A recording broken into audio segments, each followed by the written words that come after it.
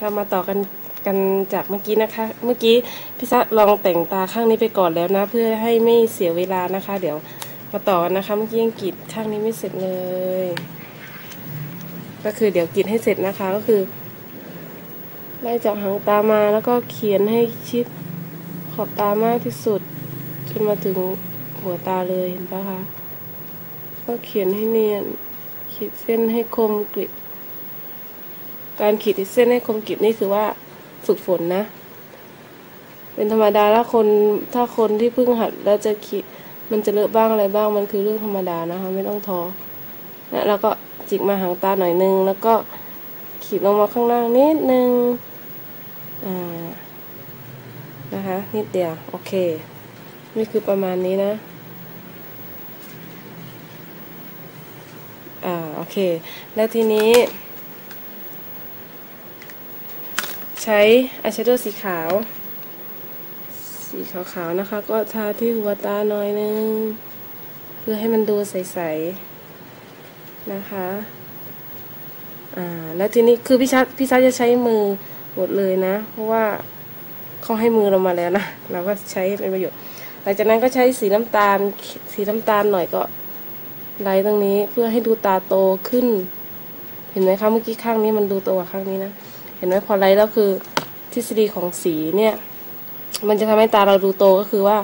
เราเอาสีเข้มไว้ที่หางตา ก็คือเอาสีน้ำตาลก่อนสีน้ำตาลก่อนนะคะ เห็นไหมปลายหางตาขึ้นมาประมาณกึ่งกลางเบาๆก็คือว่าเราไล่ให้มีศิลปะให้มันแบบว่ากลืนๆไปนะคะเนี่ยเน้นปลายหาง เน้นหางตาขึ้นมาหน่อยนึงเห็นปะหลังจากนั้นเราก็ใช้สีเข้มที่เรามีสีดำหรือ หรือ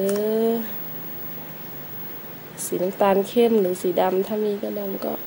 เนี่ยจิกหางหน่อยนึงให้ขึ้นมาเห็นไหมคะ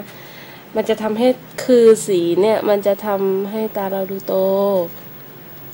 เห็นนะคะเบาๆพอนะเพราะเราแต่งแบบว่าไม่เยอะไงหางตาขึ้นมาเบาๆก็พอ โอเคนะคะ อันนี้เท่ากันแล้วหลังจากนั้นก็ติดขนตาปลอม ข้างข้างข้างข้างเนี้ยพี่ชาใช้สองสีเองนะ สีน้ำตาลกับสีดำเครื่องสำอางไม่จำเป็นต้องเหมือนกันก็ได้ เพราะว่าการแต่งหน้าเนี่ยมันมันไม่ต้องว่ายี่ห้อไหนหรือยี่ห้อยี่ห้อไหน แค่เรารู้จักการใช้สีนะคะ แล้วก็ติดขนตาปลอม เมื่อกี้อ๋อพี่าไปใส่บิ๊กอายมาแล้ว ตามันจะยิ่งโตขึ้นดูโตขึ้นคุณตาปลอมเราก็หัดใส่นะคะ คนที่ไม่ชำนาญอาจจะใส่ใส่แบบว่าสักพักหน่อยกว่าจะได้แต่ของพิซซ่านี่คือพิซซ่าชำนาญหน่อยก็ติดแป๊บเดียวก็ได้เลย อ่านะคะ ก็ดูตาโตขึ้น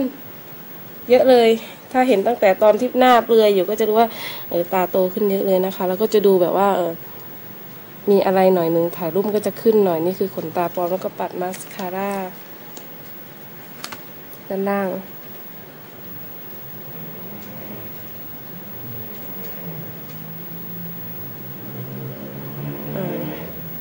เสร็จแล้วหลังจากนั้น เราก็แก้มกันปัดแก้มแล้วแต่ชอบนะคะ สีพีชสีส้ม สีชมพูแล้วแต่ ความชอบอ่อพิซซ่าใช้สีออกพีชแล้วกันนะวันนี้นะ สีอะไรก็แล้วแต่นะนี่น้องๆ เวลาปัดน่ะ ให้ยิ้ม แล้วแก้มเรามันจะนูนใช่ปะแล้วก็ปัดไอ้ตรงนูนนี่แหละอืมอันนี้เป็นเทคนิค น้องๆไปใช้ได้เลย เพราะบางคนไม่รู้ว่าให้ปัดแก้มเนี่ยควรจะปัดตรงไหน ถึงจะดูดีถึงจะสวยอะไรเงี้ย ก็เนี่ยค่ะตรงเนี้ยอืมปัดไม่ต้องเยอะเกินเดี๋ยวเป็นแก้มลิง นะคะ โอเค หลังจากนั้นก็ ไม่มีอะไรแล้วใช่ไหมเราก็ไล่ดั้งอะไรกันแล้วเดี๋ยว อีกอีกนิดนึงดีกว่านะ เอาอายแชโดว์สีขาววิงวิง ให้มันวาวาวขึ้นอีก แล้วแต่ความพอใจของน้องๆเลย เอาหัวตาหน่อยนึงอ่าเราไม่ต้องพึ่ง360องศาเยอะก็ได้ เพราะอันนี้มันคือความจริง แล้วเวลาเราไปงานหรืออะไรเงี้ยอย่างนี้ก็ได้ แต่ว่าไปงานอาจจะแต่งหรือว่าใช้ครีมรองพื้น แต่นี่พี่จ๊ะไม่ได้รองพื้นนี่คือ BB เฉยๆแล้วก็มันเป็นอายแชโดว์วิงวิงของ Intuit เองนะ ปัดแก้มหน่อยนึง พื่อให้มันดูแบบว่าหน้าโกลโกลคำว่าหน้าโกลโกลคือหน้า หน้ามันจะวิงวิงเนี้ยค่ะ ดูมีน้ำอืมทาลิปกันใช้ใช้ ใช้อะไรดีอะใช้ลิปของอันนี้แล้วกันลิปก็สีอ่อนๆพอนะ เพราะเราใสๆเราไม่เอาเข้ม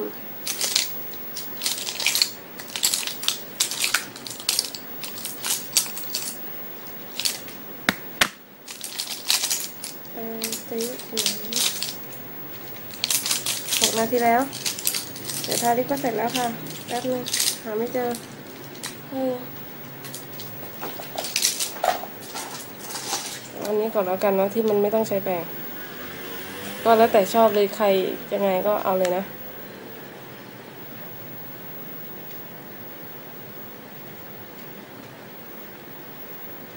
ให้หน้าดูอ่อนเราก็ทาลิปไม่ต้องสีเข้มเกิน